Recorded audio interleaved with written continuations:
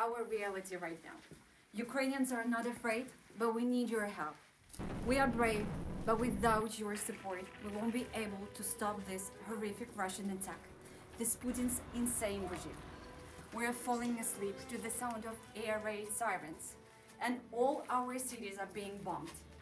We are waking up every day to the news of more merciless bloodshed on our streets.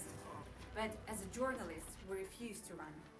We need to report on the situation and inform the Ukrainian people to maintain their spirits in these impossible times.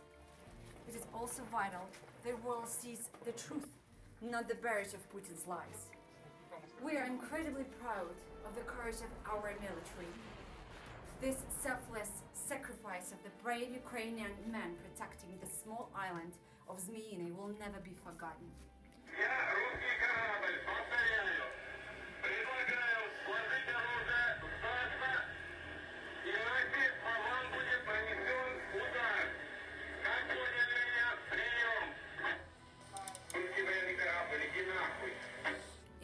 minute, our brave men under shelling and bullets.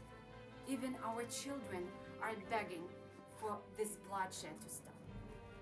Владимир Путин, обращаются к вам дети Украины. Отзовите свои войска. We need your support like never before. Please stand with Ukraine, our people, the people of Europe, and the people of the world. Our peace is your peace. Our future is your future.